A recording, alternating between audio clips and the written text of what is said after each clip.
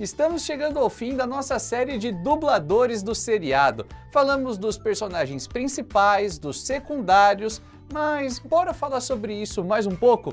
De novo! Chegou o dia de falar dos dubladores do Jaiminho e do Godines, ou seja, do Raul Padilha e do Horácio Gomes Bolanhos. E você pode não acreditar, mas esses dois atores chegaram a ter o mesmo dublador. É mesmo? Então se prepare para ir até um povoado pequenininho do tamanho de Nova York e vem com a gente.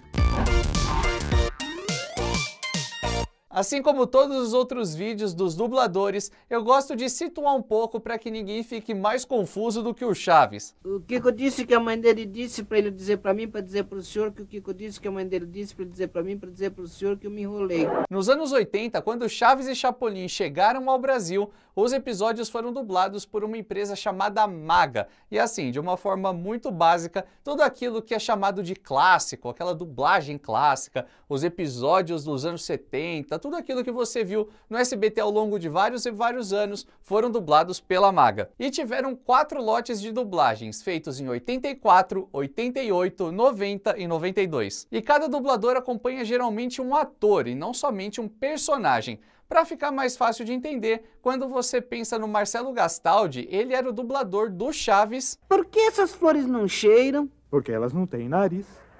E também foi o dublador clássico do Chapolin, já que ele dublava todos os papéis realizados pelo Roberto Gomes Bolanhos. Aqui o Chapolin Colorado falando com a Terra, aqui o Chapolin Colorado falando com a Terra. Não podemos regressar, não podemos regressar. Lero, lero, lero, lero. Mas enfim, agora que você já tá por dentro, bora falar um pouco sobre o Jaiminho, interpretado pelo Raul Chato Padilha. Mesmo que ele tenha sido introduzido no elenco de Chespirito somente lá em 79, no finalzinho da fase independente de Chaves, vários episódios em que o Jaiminho aparece foram dublados logo em 84 mesmo. Tanto é que você já deve ter reparado que vários episódios contam com um tipo de eco no fundo, né?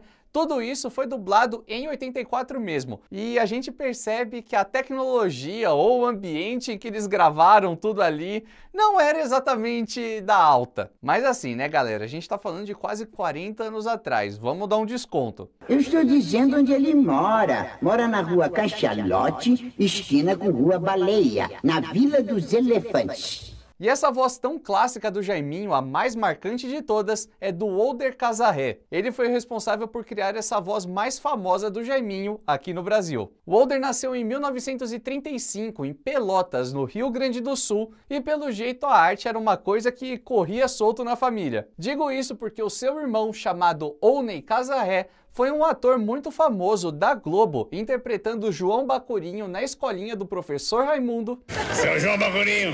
É, estamos aí, Mas que tristeza é essa, seu Bacurinho? É que eu estou um pouco embalado emocionalmente. E acredite se quiser, mas também foi o dublador clássico do Pica-Pau. Capitão Blá, besteira! Devem estar fazendo o lançamento de algum filme. Não dá mais para acreditar no que a gente escuta. E só aproveitando esse parênteses para deixar tudo ainda melhor, o Owney também foi o dublador do ator Abram Stavans, que interpretou o dono do parque. Querem testar a sua força para ver quem é o mais forte? E também deu voz ao ator que era o meu irmão gêmeo perdido por aí. Tá, gêmeo eu exagerei. Mas dizem as más línguas que parece comigo o policial que cobra impostos. Porque todo mundo deve pagar impostos. E ainda é tempo. E eu duvido muito que você tenha reparado que o dono do parque, o policial que persegue as empregadas e o pica-pau têm a mesma voz. Mas enfim, o Older Casarré, que é o dublador que deu voz ao Jaiminho, também participou de várias produções da Globo, só que ele trabalhava principalmente no Rio de Janeiro. Então, durante uma passagem por São Paulo, ele foi convidado para um teste para ver se aquela voz combinava com um certo carteiro e não é que rolou? Eu, eu sou o novo carteiro. Eu me chamo Jaiminho. E uma coisa que eu acho bem interessante é que a gente vê o Chaves lá no comecinho da dublagem com uma voz mais agudinha, mais fininha, como essa aqui. Do mesmo modo que me arrancou o charuto da boca com o estilingue, você podia ter me arrancado um olho. Só se o senhor tivesse entrado fumando um olho. E depois acabou se tornando o jeito clássico, como nós conhecemos, mas essa voz mais aguda também era do Marcelo Gastaldi. Ele estava só encontrando o timing do personagem. E essas pequenas mudanças também acontecem com o Jaiminho, pois em alguns momentos, no comecinho da dublagem, a gente percebe que a sua voz era mais grave e mais áspera. Se foram. Não. Sim. Não. Sim. Sim? Não. Não, quer dizer, sim. E alguns episódios depois, mas ainda dentro daquele mesmo lote, a gente percebe a sua voz mais agradável, um tom mais doce, uma coisa mais carinhosa, até um pouco mais lento. Enfim, é a voz do Jaiminho. Veja só como eu estou cansado. É, por acaso você não tem uma carta pra mim? Nem sei. Hum, bom, mas olha aí. Aqui está a bolsa. Procura aí.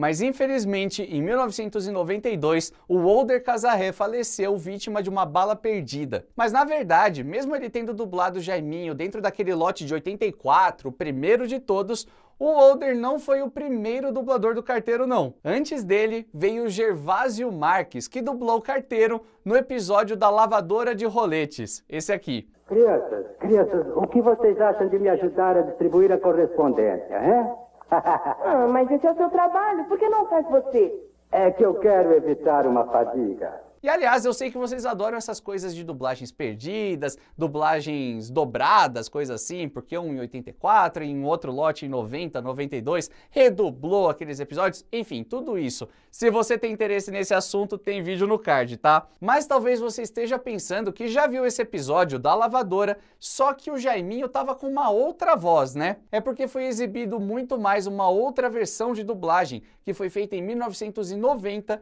e o Potiguara Lopes dublou o carteiro. E aliás, a dublagem dele ficou muito mais próxima da voz clássica. Ah, meninos, meninos, o que acham de me ajudar a distribuir a correspondência? É, esse é seu trabalho, por que não faz você? É que prefiro evitar a fadiga. E se você está acompanhando bem a nossa série de dubladores, já deve ter percebido que esse nome Potiguara Lopes não é muito estranho. Pois é, o Potiguara foi o dublador do professor Girafales lá no comecinho, nos primeiros episódios de Chaves que chegaram no Brasil. E agora o que, que eu faço, paizinho? Não passe isso pra mim, moleque! E eu disse no começo do vídeo que geralmente os dubladores acompanham os atores e não somente os personagens, né? Mas ainda assim, o Raul Chato Padilha foi dublado por duas outras pessoas em certos episódios de Chapolin. Em A Troca de Cérebros, o seu personagem foi dublado pelo Eleu Salvador. Olha, vocês não teriam outro baú pra ele? E em 20 mil beijinhos para não morar com a sogra, o Raul foi dublado pelo José Soares. Onde estão os outros pedreiros? Esse, esse é o problema. Todos se foram, eu fiquei sozinho. E se não acabar a tempo, não me pagam. E beleza, tudo isso dentro da fase da maga, anos 80, 90, tudo muito clássico. Mas vamos ver mais um trechinho desse episódio de Chapolin. Ou melhor, mais precisamente, dá uma reparada na voz do personagem do Horácio Gomes Bolanhos. Ou termino logo a casa, ou não lhe pago. Percebeu uma certa semelhança? Sim, o José Soares dublou os dois atores dentro do mesmo episódio. E vamos combinar, isso é um achado. E depois dessa, eu acho que eu já te convenci a deixar o seu like aí embaixo, fazer sua inscrição no canal, ativar o sininho e tudo mais, hein? Afinal, olha só o nosso nível de detetive. Mas o José Soares não parou por aí, porque ele também dublou o Horácio Gomes Bolanhos em Chaves. Bom, foi apenas em um episódio e o Godines nem tem muitas falas, mas ainda assim dublou. Tô falando da aula de matemática. Godines. Não fui eu, professor, não fui eu. Pode perguntar. Não foi você o quê? Do que o senhor está me acusando? De nada. Obrigado. E logo depois, aquele dublador clássico do Godinzinho acabou se estabelecendo no personagem. Tô falando do Silton Cardoso. Ele nasceu em 1938 em Minas Gerais e estabeleceu a sua carreira aqui em São Paulo. E vários episódios com momentos super marcantes do Godines, eu tenho certeza que você já está pensando em um monte de exemplos, contam com a dublagem do Silton Cardoso, como esse aqui. Godines, Presente, senhor professor! quem vale mais? Uma corrida ou um terço? Ao ar livre ou em quadra? Mas ele parou de dublar no início dos anos 90 e você deve ter reparado que em certos episódios a voz do Godines parecia meio diferente, né? Tipo essa aqui. Peguem os livros e comecem a estudar.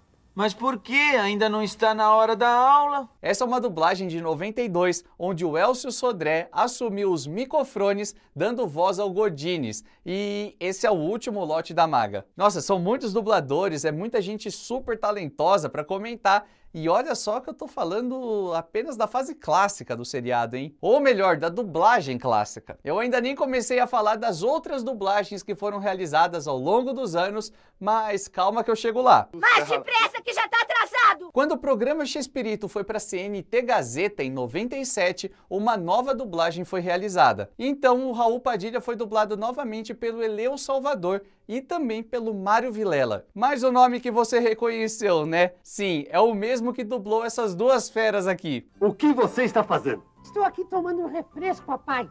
Não sabe que pode te dar desinteria? E naquele mesmo trabalho, o Horácio foi dublado pelo José Parisi Júnior e o Fábio Moura. Porque se a gente vai à loja e diz que quer comprar um caminhante, o que vão te dar é, é o Carlos Mercenário. E o próximo lote de dublagens foi realizado para o próprio SBT, só que dessa vez não era para dar voz somente a Chaves, mas sim a tudo que foi exibido no Clube do Chaves. É mais ou menos aquilo que foi exibido do programa X-Espírito na Gazeta, mais ou menos na mesma época e coisa e tal. E aqui, quem dublou o Raul Padilha foi o Jorge Alex. Ah, Chiquinha. Eu? Faz dias que eu não vejo meu vidro de loção que eu uso depois de fazer a barba. E quem dublou o Horácio foi o Mário Lúcio. Na escola não se deve brigar, nem na sala, nem no pátio, em nenhuma parte. Claro!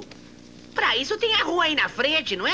Em 2005, mais uma dublagem é preparada para os DVDs de Chaves e Chapolin que foram vendidos em todo o país. E muita gente sabe que nessa época o Gustavo Berriel deu voz ao Nhonho e depois passou a dublar também o Sr. Barriga. Só que nessa mesma época ele já estava emprestando a sua voz também para o Jaiminho. Com licença, eu vou deixar aqui. Não tem como vir mais rápido? Ai, ai, Joy. Boa tarde. Ora essa, mas o que, que o senhor tá fazendo?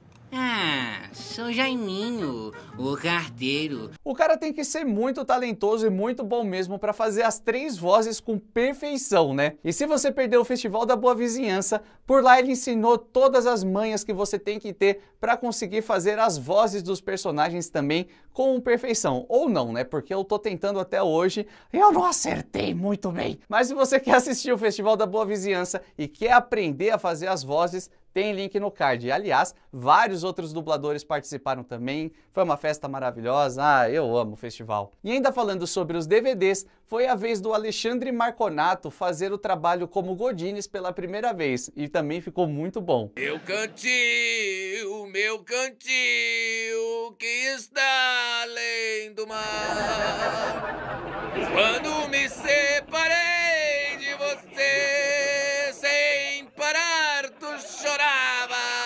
Pouco tempo depois, chegou por aqui o desenho animado de Chaves, e aí você já sabe, mais dublagem saindo do forno. Dessa vez, quem deu voz ao Jaiminho foi o Valdir Fiore. E já o Godines teve mais de uma voz, contando com Alexandre Marconato e o Duda Espinosa. E você, Godines, vem pra cá! Eu? Vem! E o que temos com dois meios? Dois meias formam parte de um time.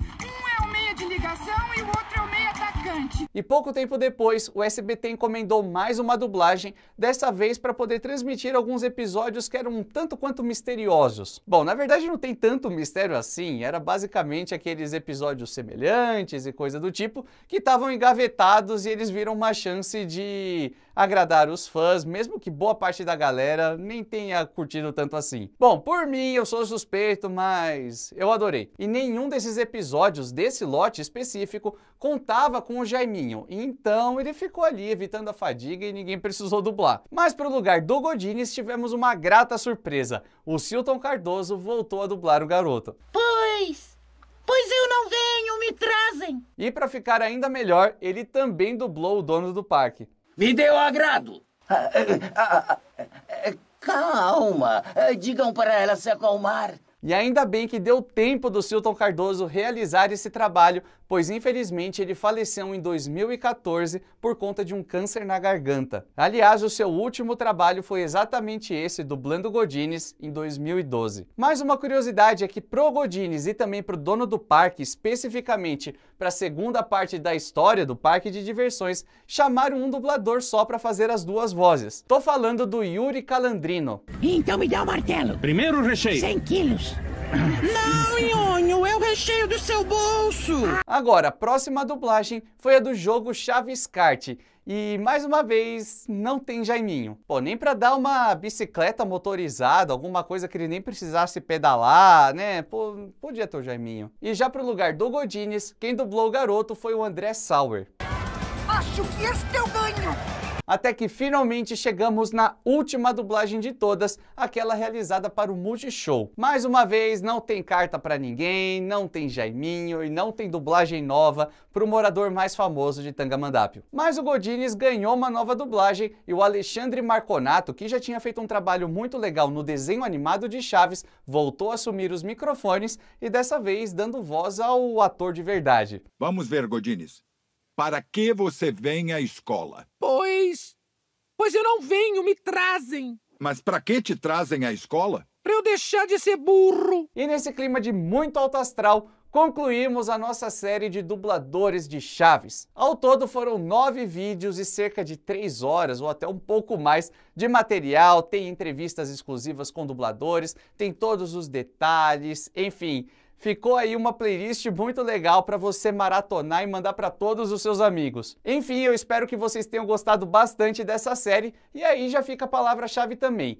Entre Jaiminho e Godines, qual deles é o seu preferido? E enquanto você comenta, eu já vou te contar que os nossos planos para 2022 estão bem ambiciosos. A gente está com vontade de fazer umas séries muito legais, novos vídeos, novos temas. Enfim, tá só começando. E por aqui a gente vai continuar trabalhando cada vez mais em conteúdos super legais, como esse vídeo aqui das melhores tiradas do seu Madruga. Você não assistiu? Só clicar aqui. Já assistiu? Clica aí também, mata a saudade. E a gente se vê no próximo vídeo nessa mesma hora e nesse mesmo canal.